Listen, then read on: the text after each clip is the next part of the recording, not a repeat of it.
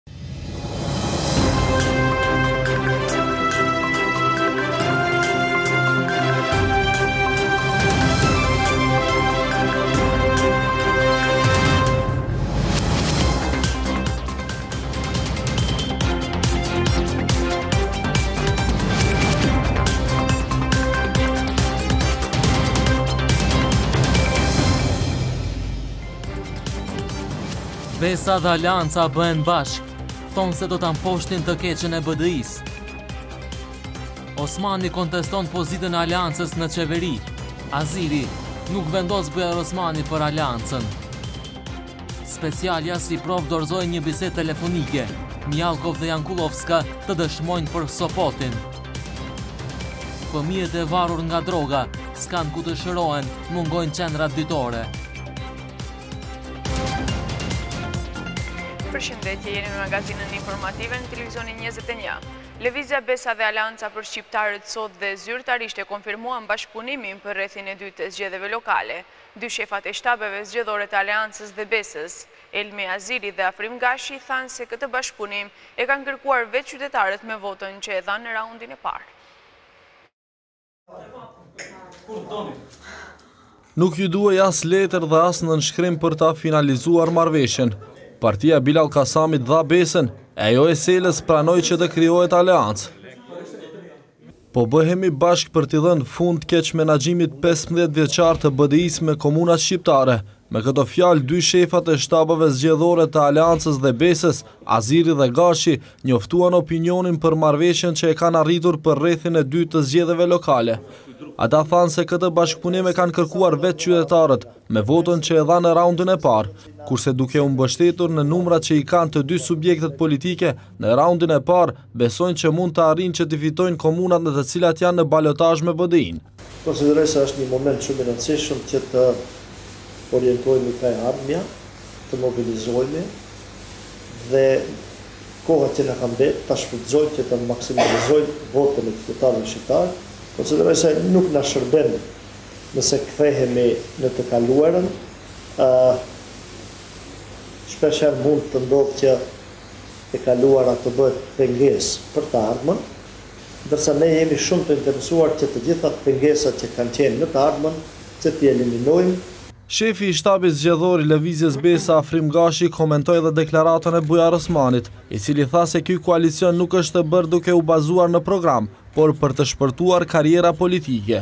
Ata të ishin pak të ndërgjegjshëm, sot nuk do të ishin në skenën politike, por ajo u mbetet qytetarëve ta gjykojnë. Ne sot po mundohemi ta sjellim një bashkëpunim që i sjell të mirë shqiptarëve. Domethënë, ne jemi të bindur se kjo është një akt i mirë për shqiptarët e Maqedonisë në parim dhe pastaj kjo domethënë si çështje sekondare është për të mirën edhe të subjekteve tona politike.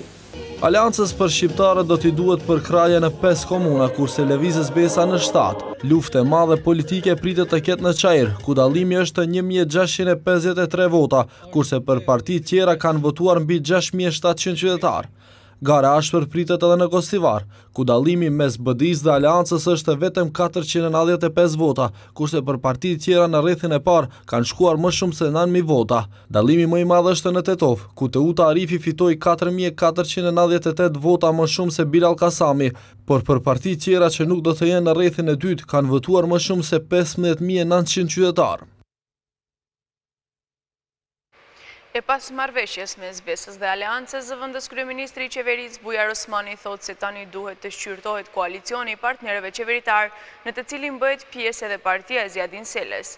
Por Elmi Aziri thotë se Osmani nuk është ai që vendos për fatin e Aleancës për shqiptarët. Aleanca për Shqiptarët nuk e ka vendin e garantuar në qeveri sipas zëvendëskryeministrit nga radhët e BDI-së Bujar Osmani. I pyetur nga gazetarët se a mund që koalicioni mes Selës dhe Kasamit t'i prishë marrëdhëniet mes partnerëve të koalicionit, Osmani u përgjigj se do të duhet që partnerët të ulen dhe të diskutojnë për këtë çështje.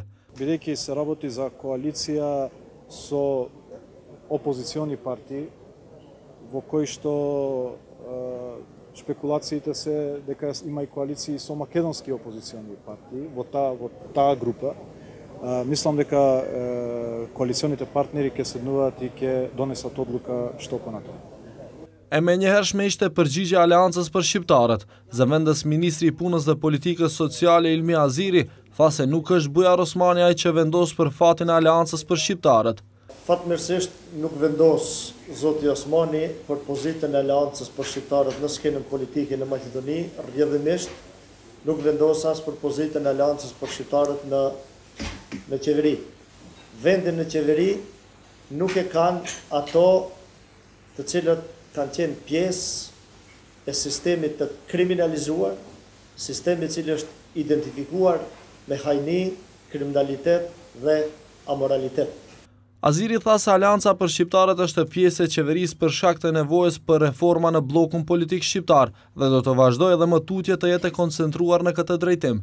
Menjëherë pasi u bë e qartë se Besa dhe Aleanca do të bashkëpunojnë për raundin e dytë, në opinion filluan të qarkullojnë informata se Aleancën do ta zëvendësojë PDSH-ja në Qeveri. Kjo nuk është e mohuar ende nga PDSH-ja, kurse burime brenda degës së PDSH-së në Studeniçan bëjnë të ditur se Azem Sadiku do ta kërkojë përkrahjen edhe të partive tjera për raundin e dytë, përfshirë edhe LSDM-në. Në raundin e parë të zgjedhjeve lokale katër pikë dy përqind e votave janë shpallur të pavlefshme nga Komisioni Shtetëror Zgjedhor në nivel shtetëror e kjo do të thotë se mbi dyzet e pesë mijë qytetarë ia kanë huq votës së tyre. Kryetari i Aleancës, Ziadin Sela tha se jo rastësisht kaq shumë vota janë anuluar, andaj paralajmëron padi për dikë që dyshon se ka manipuluar procesin zgjedhor në komunën e Strugës. Në zgjedhjet lokale të së dielës mijëra qytetarë dolën kot për të votuar. Me qëllim apo pa dashje, ata nuk e kanë plotësuar fletëvotimin siç duhej, andaj komisionet komunale zgjedhore kanë shpallur dyzet e pesë mijë e pesëqind e pesëdhjetë e një fletëvotime të pavlefshme, ose katër presi dy për qind nga një milion e tetëqind e katërmbëdhjetë mijë e gjashtëqind e dyzet e katër qytetarë me të drejtë vote prej të cilëve të dielën kanë votuar pesëdhjetë e nëntë presje pesë për qind e tyre. Nga burimet partiake të Aleancës për Shqiptarët thonë se disa nga këto fletvotime janë anuluar për shkak se qytetarët kanë rrethuar numrin nëntë dhe dyshin e koalicionit të RDK-Unitetit më të njëjtin emër. Por nga KSHZ thonë se qytetarët kanë qenë me kohë të informuar me mënyrën se si të votohet. Fletëvotimet shpallen të pavlefshme për arsye se qytetarët, domethënë, kanë rrethuar dy parti politike të ndryshme. Në qoftë se fletëvotimi është shënuar me shenja X ose shenja tjera të papërshtatshme, në qoftë se në fletëvotim janë shënuara fjalë jo të hijshme dhe kështu me radhë. Edhe kryetari i Aleancës për Shqiptarët Ziadin Sela është ankuar se procesi zgjedhor në Strugë nuk ka qenë demokratik nga kundërshtarët e tij, duke thënë se të dielën në dy orët e fundit është përmbysur rezultati i shtatë mijë votave të LSDM-së. Dhe në vendin e dytë është rreshtuar Ramiz Merko i BDI-së duke iu bërë kundërkandidat në balotazhin e njëzet e nëntë tetorit. Ne si subjekt politik ju e dini që nuk kemi drejtën e anëtarëve të komisioneve, por kemi drejtën vetëm vëzhguese. Unë lidhje me këtë, seriozisht jam duke menduar një padi për person panjohur, duke mos pas informacion, Për manipulim zgjedhor. Edhe në zgjedhjet lokale të vitit dy mijë e trembëdhjetë si vota të pavlefshme janë shpallur mbi tridhjetë e tetë mijë, gjë e cila rrit shqetësimin edhe të njohësve të fushës. Qytetarët të cilët nuk kanë qenë mirë të informuar për mbarëvajtjen dhe mënyrën e votimit në ato lista, ndoshta ata kanë bërë votim në më tepër subjekte politike, gjë e cila është e ndaluar. Ndoshta janë ata pikërisht që ata qytetarë me nevoja të veçanta psikofizike. Kështu që duhet të ketë kujdes, duhet të gjendet një modalitet më i ri në drejtim të kësaj që t'ju ndihmohet qytetarëve në asistencë. Ndërkaq kandidati për kryetar të Komunës së Shtipit, Blagoja Boçvarski, tha se një mijë e njëqind e dyzet e një fletëvotime të pavlefshme kanë bërë që në këtë komunë të ketë balotazh mes tij dhe kandidatit të VMRO-DPMNE-së, Ilço Zahariev. me vetëm tridhjetë e tetë vota diferencë.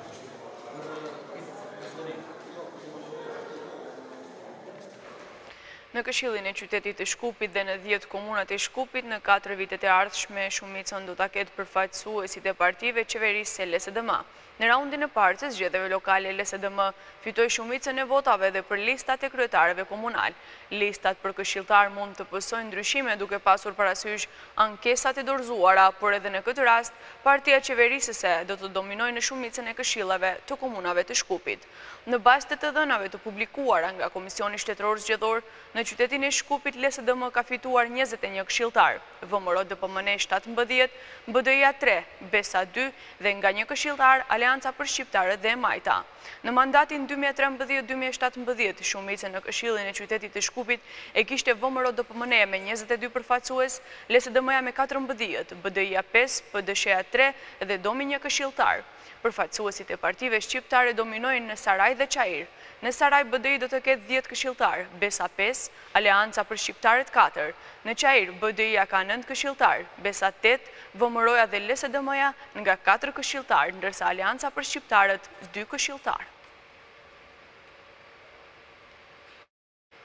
Prej nëntori deri në shkurt do të jetë periudha kryesore për aktivizimin e bisedimeve për çështjen e emrit mes Maqedonisë dhe Greqisë, si dhe për arritjen e progresit sa i përket kësaj çështje, shkruan sot gazeta greke Katimerini.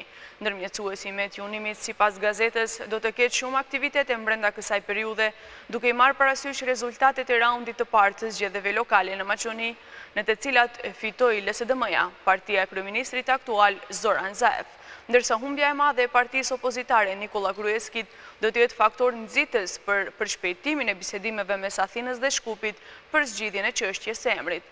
Analistët vlerësojnë se rezultatet e raundit të parë në të cilin LSDM fitoi tridhjetë e shtatë komuna, ndërsa VMRO-DPMNE do të shkaktojë përshpejtimin e bisedimeve nga ana e faktorit ndërkombëtar. Athina e ndjek situatën në vend dhe pret që retorika, të cilën e përdorin Zaevi dhe ministri i Punëve të Jashtme Nikolla Dimitrov, të jetë në pajtim me hapat praktikë që kanë të bëjnë me zgjidhjen e çështjes së emrit.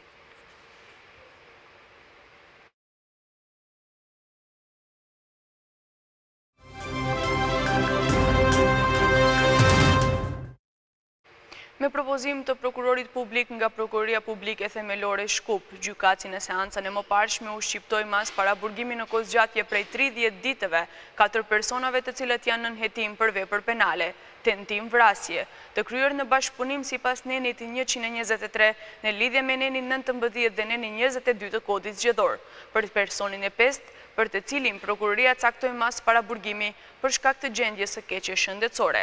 Gjykata do ta rishqyrtojë vendimin. Seanca kundër këtyre personave ka të bëjë me ngjarjet e njëzet e shtatë prillit në Kuvend dhe me sulmin ndaj Ziadin Selës. Sot Jordan Mijallkov, i biri i Sasho Mijallkovit, ishte në bisedë informative në stacionin policor për ngjarjet e dhunshme të njëzet e shtatë prillit në Kuvend.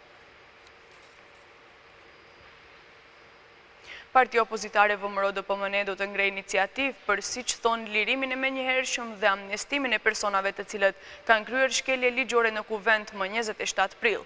Komiteti Ekzekutiv i kësaj partie mbajti takim në të cilin është konstatuar se gjatë gjashtë muajve të kaluar me sjelljen e ligjit për amnisti nga burgu, siç thonë nga kjo parti janë liruar disa kriminelë, Në kumtesë për media thuhet, VMRO-DPMNE edhe pse kishte qëndrime të ngjajshme, thuajse identike me qëndrimet e qytetarëve të cilët protestonin plot tetëdhjetë ditë, ishte partia e parë e cila i kritikoi publikisht shkeljet ligjore të bëra nga ana e qytetarëve të cilët protestonin dhe me këtë u prish karakteri paqësor i këtyre protestave qytetare.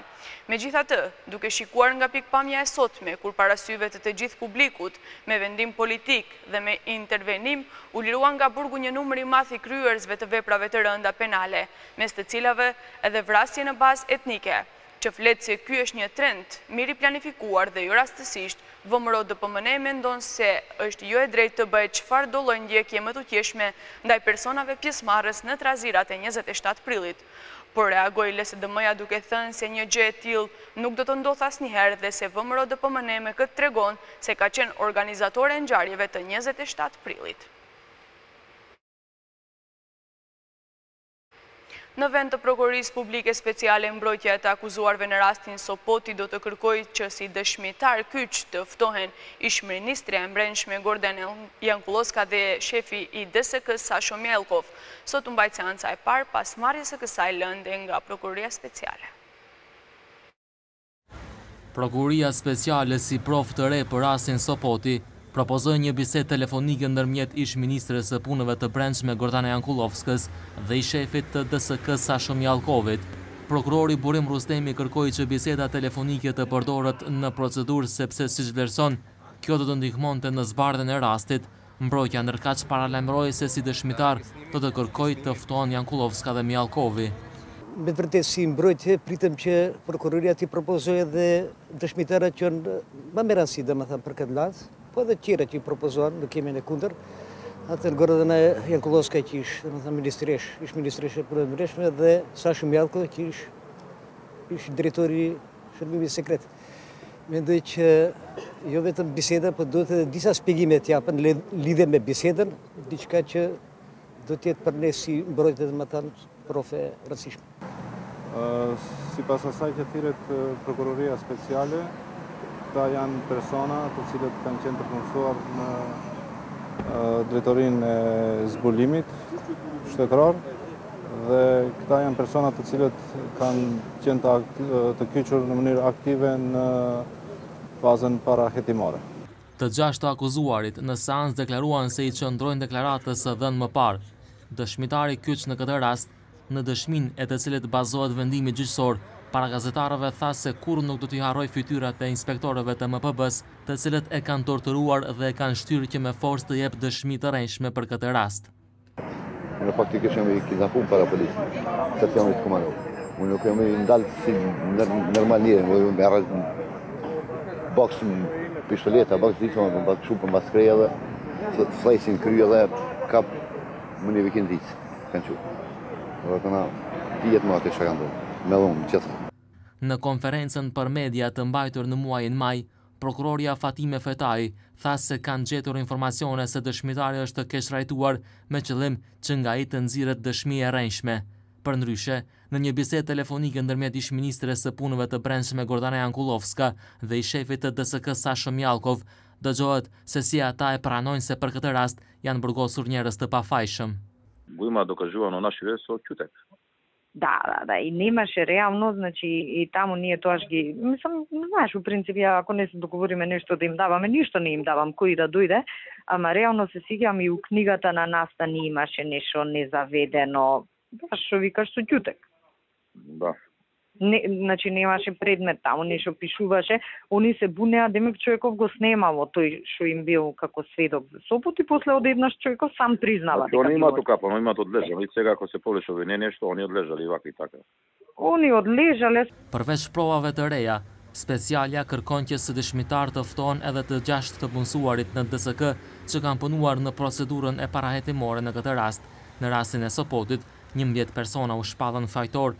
se në mars të vitit dy mijë e tre kanë vendosur mjet shpërthyes në rrugën Sushevë-Sopot, me ç'rast humbën jetën dy ushtarë të kontingjentit polak në kuadër të misionit të NATO-s në Maqedoni dhe një civil.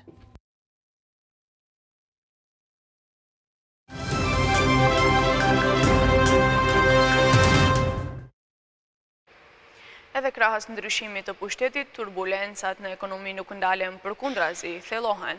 Për investime të reja, biznesmenët kërkojnë klimë të qëndrueshme për biznes, pa cikle zgjedhore dhe pasiguri politike. Ndërmarrjeve të vogla dhe të mesme u duhet përkrahje nga ana e shtetit në nivel global. Lidhja e odave ekonomike fitoi mirënjohje në rangun e korporatës botërore Google. Biznesmenët ankohen se pasojat negative të turbulencave politike gjatë viteve të kaluara nuk ndalen. Sipas atyre, mungesa e sigurisë dhe klima e pavolitshme për biznes ndikon negativisht në investimet e kompanive të sektorit privat, si dhe në eksportin e përgjithshëm të kompanive në nivel global dhe në nivel vendor. Daniela Arsovska nga Lidhja e Odave Ekonomike thotë se për tejkalimin e kësaj gjendje nevojitet stabilitet politik, për t'u hartuar një plan për rritje të prodhimtarisë dhe të eksporteve. Çdo herë kur sektori privat përmbahet për të investuar, keni rënie të prodhimtarisë dhe të eksporteve. Për investime nga ana e sektorit privat nevojitet stabilitet politik në Maqedoni, pakësim të cikleve zgjedhore dhe të mos ketë turbulenca për të vazhduar me ciklet e prodhimtarisë dhe të eksporteve. Nuk bëhet fjalë vetëm për rënien tremujore të vlerës së eksportit. Ekonomia vendore si rezultat negativ përmend rënien e prodhimtarisë industriale, rënien e investimeve të huaja, si dhe pagat më të ulëta mesatare që i morën të punësuarit në sektorin privat. Nga kjo shoqatë e biznesit ende nuk e dinë se si do të zbatohet ideja që një pjesë e punëtorëve administrativë të transferohen në ndërmarrjet e vogla dhe ato të mesme. Okullu vlladinata idea vishokot na administrativ Në lidhje me idenë e qeverisë që teprica e punëtorëve të administratës të transferohet nga kompani shtetërore në sektorin privat, nga Lidhja e Odave Ekonomike thonë se pikë së pari duhet bërë analiza themelore që të caktohet se cili kuadër është i gatshëm për t'u transferuar nga kompanitë shtetërore në sektorin privat. Nevojitet analizë për të konstatuar se cilat kompani u mungon kuadër dhe pas kësaj të gjendet zgjidhje e përbashkët. Biznismenët i presin subvencionet në kontot e tyre për t'i paguar pagat minimale. Arsovska mendon se është e nevojshme që të rritet edhe produktiviteti i kompanive, që ato të mund të rriten dhe të përforcohen. Në këtë mënyrë, kompanitë do të mund vetë t'i paguajnë pagat minimale prej dymbëdhjetë mijë denarëve, pa marrë subvencione. Nuk do të kishim dashur që të përballemi me probleme të likuiditetit si pasojë e rritjes së shpenzimeve të cilat kompanitë nuk do të mund t'i përballonin, sepse rriten edhe shpenzimet e tjera ndër të cilat edhe paga minimale. Nuk do kishim dashur të përballemi me një situatë në të cilën sektori privat do fillojë t'i reduktojë vendet e punës me qëllim që ta plotësojë kuotën për pagesën e rrogës minimale, veçanërisht në veprimtaritë e punës intensive. Në konferencën e sotme për shtyp u theksua se Lidhja e Odave Ekonomike pas kompanisë Google, e cila nga ana e Organizatës Tregtare Botërore para një muaji fitoi mirënjohje si kampion i parë për biznes të vogël, i njëjti ky institucion renditi projektin e Shoqatës Maqedonase të Biznesit si kampione e dytë për biznes të vogël në përmasa botërore. Bëhet fjalë për një projekt i cili duhet të kontribuojë në përmirësimin e punës së kompanive eksportuese. Institucionet e Maqedonisë nuk kanë zgjidhje konkrete për fëmijët që janë të mvarur nga droga, theksojnë nga organizatat joqeveritare. Nga atje thonë se fëmijët duhet të presin derisa të mbushin tetëmbëdhjetë vjet, që të mund të mjekojnë varësinë e tyre nga drogat e ndryshme. Sipas organizatave joqeveritare, HOPS, është e pajtueshme hapja e një qendre të veçantë për kujdesje të fëmijëve të mvarur nga droga. Dy përqind e nxënësve të shkollave të mesme kanë provuar ose kanë përdorur ndonjë lloj inhaluesi vitin e kaluar, ndërsa 1.8 përqind prej tyre kanë provuar ndonjë lloj të narkotikëve, tregon një studim i bërë në shkollat e mesme nga organizata joqeveritare HOPS. Sipas Ivica Cekovskit, problemi me fëmijët të varur nga droga është shumë i madh në Maqedoni dhe për këtë institucionet pothuajse nuk ndërmarrin asgjë. Për asnjë nga këta fëmijë deri më tani nuk është gjetur zgjidhje, nuk është filluar tretman, nuk është siguruar asnjë lloj sigurimi nga ana e shtetit, e cila mund të cilësohet si ndonjë zgjidhje adekuate për sëmundjen e varësisë në të cilën jetojnë këto fëmijë. Theksoi se mosha më e re e fëmijëve përdorues të drogave është dymbëdhjetë vjet. Ajo thotë se nuk kanë programe konkrete dhe masat që po i marrin nuk kanë sukses.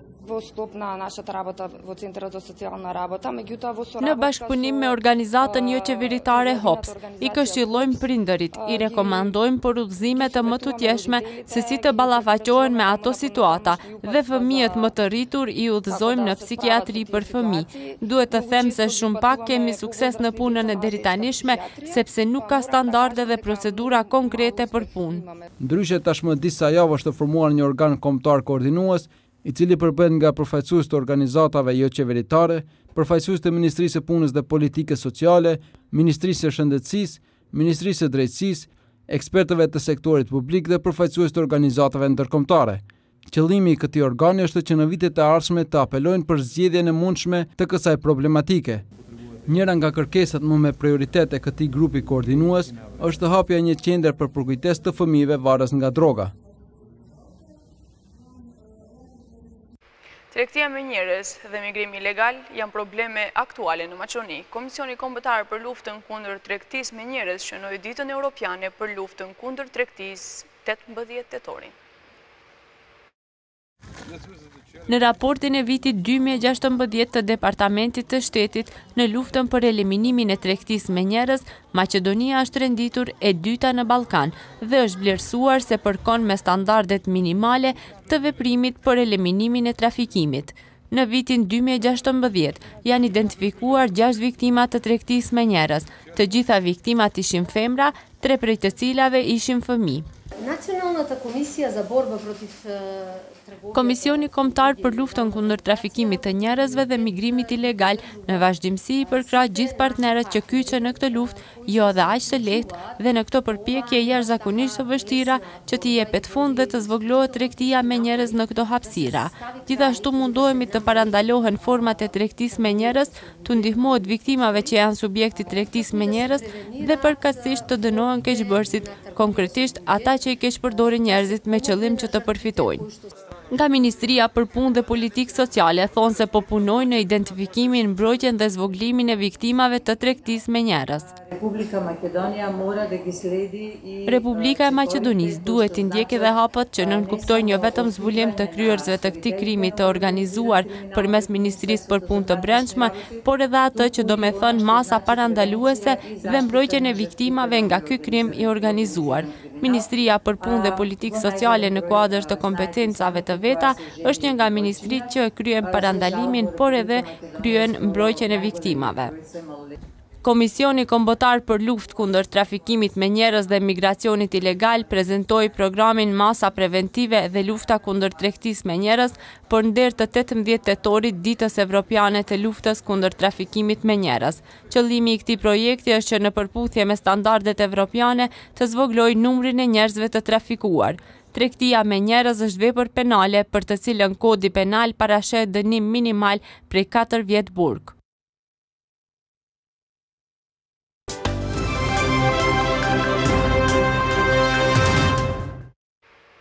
Pra kjo ishte e gjitha e përgatitur, ju faleminderit për vëmendjen me të cilën na ndoqët, ndërsa me mua me të rejat më të fundit do të takohemi në orën njëzet e tre, deri atëherë mirë mbetshi.